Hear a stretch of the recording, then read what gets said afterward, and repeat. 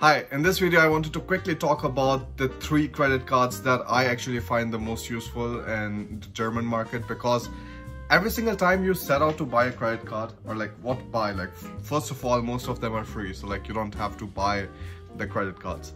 But whenever you think about getting some kind of credit cards you see so many forums and it was the same problem that I faced so I was like, you know, I need a credit card which has no fee, like monthly fee or like yearly fee.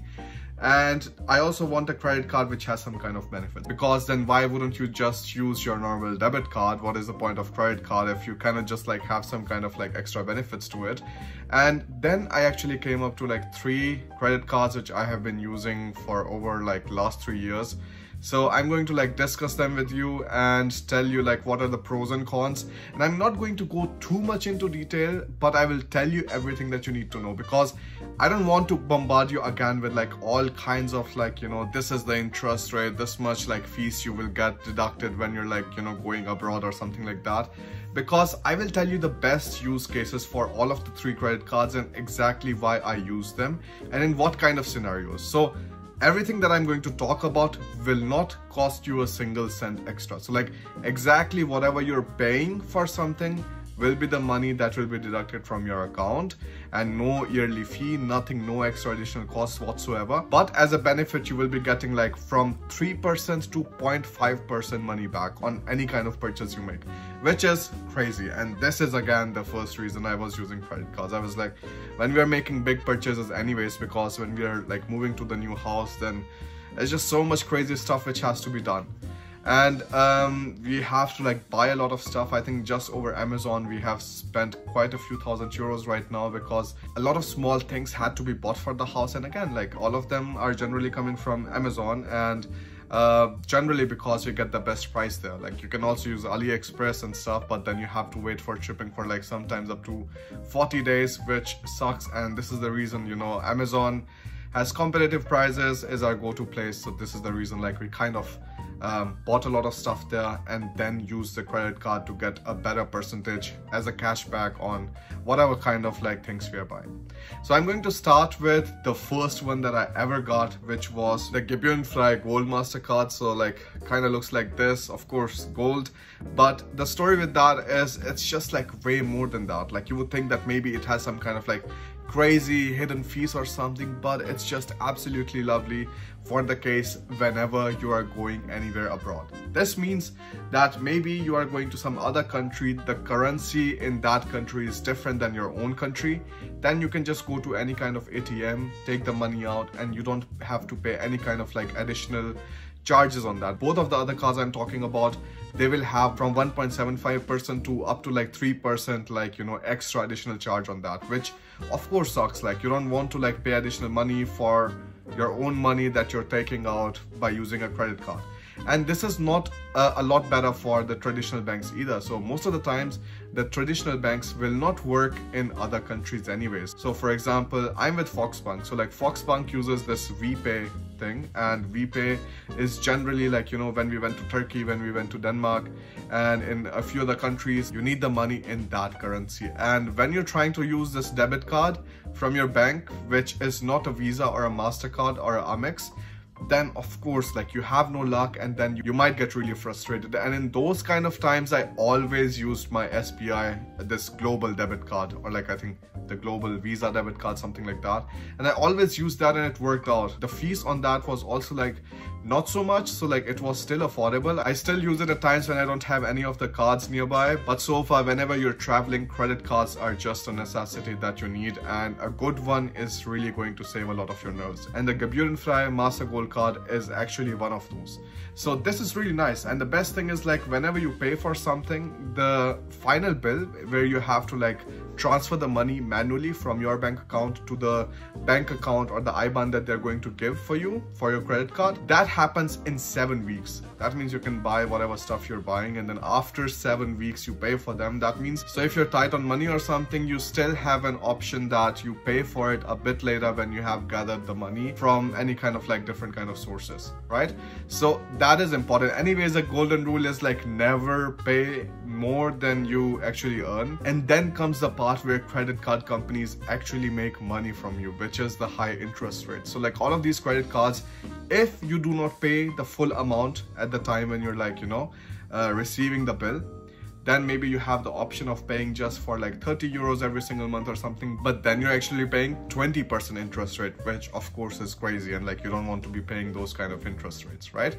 So as long as you're paying the entire amount completely in time without any kind of drama you will get your cash back in most of the credit cards and you don't have to pay any kind of extra fee right but in Gebührenfrei you don't have any kind of cashback but like the benefits it has which is like you don't have any kind of uh, charges. Like Gebührenfrei in German pretty much means like without fees so you don't have any yearly fees. You don't have any kind of fee when you're taking out money from the ATM which is also really nice because the other two cards I will discuss also will charge you something if you're taking out money from any kind of ATM so Gebührenfrei also does that. And then it also lets you take out money in any kind of like target currency whenever you are in that country without again any kind of like additional charges. So you get the best rates possible and I use this credit card so much that I don't even go to the exchange places because most of the times the rate that they're giving there is like again having some kind of commission inside and I don't like it. I mean why are you paying extra for something that you know you don't need to. So that's why I use this credit card.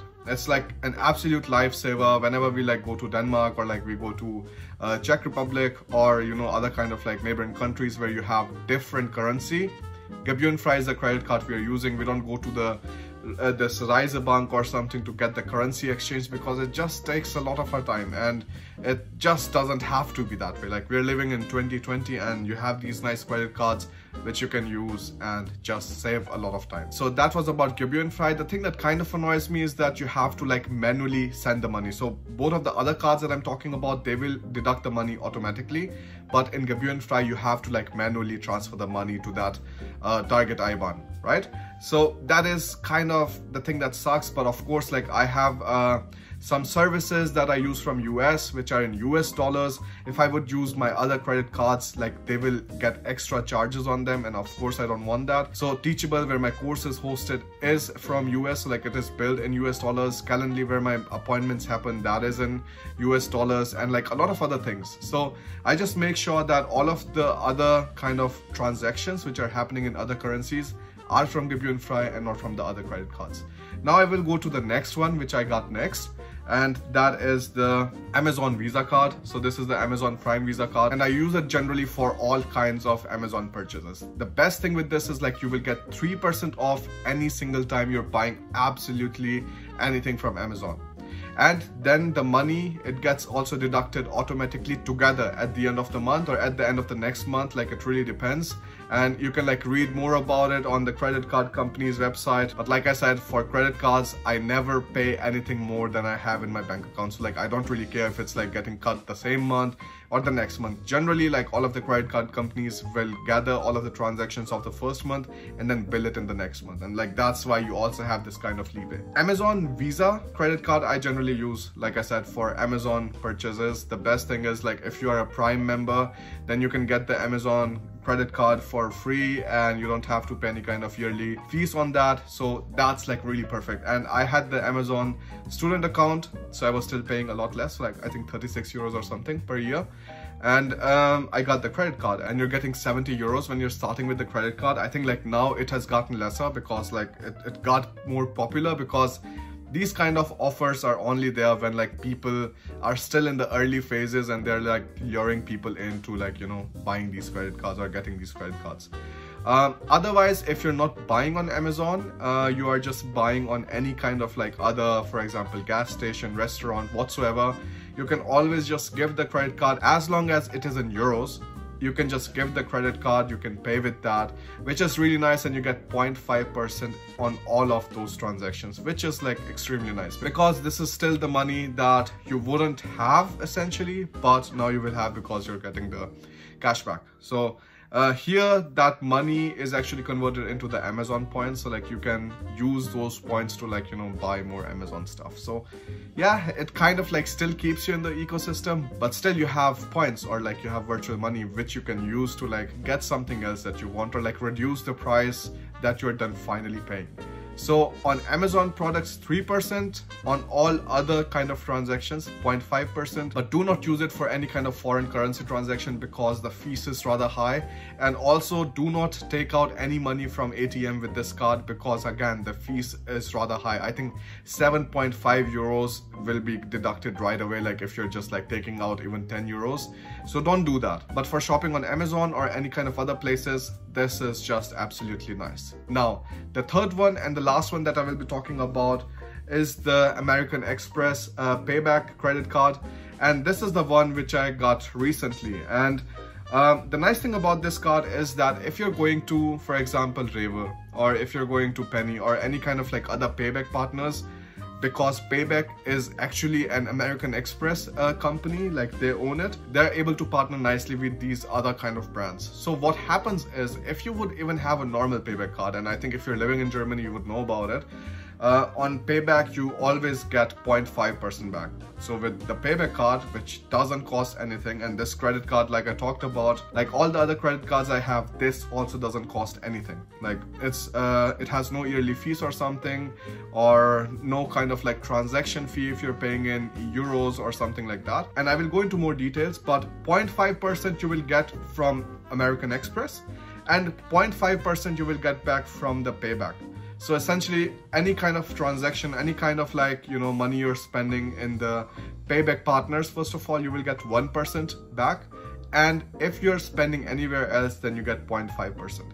The nicer thing about this card is that you can actually get the cash back. You can get whatever payback points you have transferred to your bank account, which is absolutely nice. I mean, if you have 26 euros, if you have 2,600 points or something, that means essentially 26 euros and then you can just like you know get a transfer. If you have like a lot more points if you have i don't know 100,000 or something and uh, you can use them and just get the money back. Then uh, you can download the payback app and in that you have different kind of coupons coming up all the time. Sometimes it has like seven times payback uh, points or sometimes at Rewe or like sometimes 10 times payback points on penny or something. Just use them and then the 10 times actually becomes 10% cashback right? And then afterwards, once you have all of those points, you can get it transferred either to Miles & More, the Lufthansa's frequent flyer program, or you can just directly get them back to your bank account, which is nice. So essentially out of all of these three credit cards, American Express is the only card which is giving you the cash back in your bank account. The Amazon.de Visa uh, card is actually just giving you points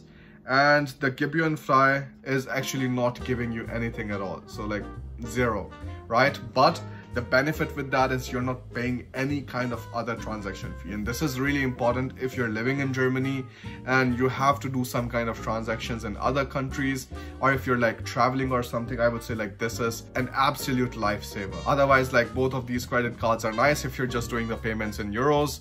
Uh, I would not use these other two credit cards for any kind of other use cases. So if you want to take the money out of the ATM, don't do it. If you want to just pay in US dollars or Danish krona or Czech something, like don't do it. But Gebührenfrei, that is the fun thing. Like Gebührenfrei, you can pretty much use for every single thing, which is just absolutely nice. Um, there are also going to be referral links. That means if you want to apply for these credit cards, you will get 40 euros and I will get 40 euros, which is nice. I think that doesn't apply to Visa, this Amazon Visa card. And it applies only for the Gebührenfrei and for payback, you get, I think, 10 euros referral. So you will get 10 euros, I will get 10 euros. That's the entire story. So these are just pretty much my recommendations and how I use them. I did not want to like, you know, make the kind of video where you're not able to understand anything and because like a lot of people do that when they're making like credit card videos I just pretty much tell you very simply how I use them and where I use them, what are the benefits and what are the disadvantages of having these credit cards. In any case, I would say like whenever you get the credit card kind of, um, how do I say, it, the credit card bill, pay it in full. If you're not paying in full, the problem comes that then you're charged interest rates, which are of course not nice. But if you're just like paying in full and on time then you can avoid all of these extra benefits and also avail services which you wouldn't have been able to avail with your normal debit card. Because like just try a few things. Your normal debit card that you get from the German banks you cannot do anything with that. The Indian banks are still better in the sense that you get debit cards with Visa or MasterCard so it is nice. You can still use them to like do different kind of stuff. So like a lot of students use it to enroll in my online course or book an appointment with me. I generally use them for any kind of like other currency i was taking out other than euros because well that was just when i needed them. And the best thing is like credit cards do not cost anything at all. Like they don't cost anything. These three that i'm talking about and with the conditions i was telling you like you know they don't cost anything which is really nice. You never know when you might need some extra line of credit or like you might need to just borrow some money and like maybe pay it afterwards. So in those kind of cases if your parents are not able to help you or something then credit cards work. But of course like use them carefully. I'm going to make some more videos about it if you're interested like how to use credit cards or like you know the best tips of or like places to use the credit cards on and so on. So if you're interested in something like that or like some other topic leave a comment under the video and you know i'll just put it in my list. I have a list of video ideas that i always have with me. So i will put it there and then we can talk about it. Otherwise the referral links are going to be in the video description. Thanks a lot guys. Um and be careful with your spending